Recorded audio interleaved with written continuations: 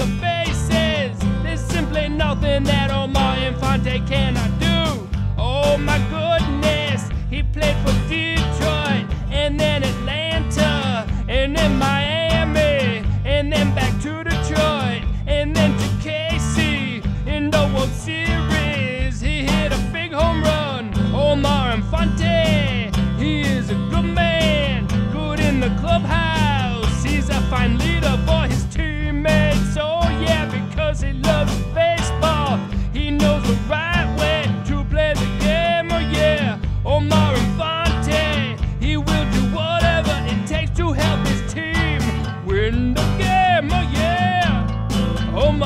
Is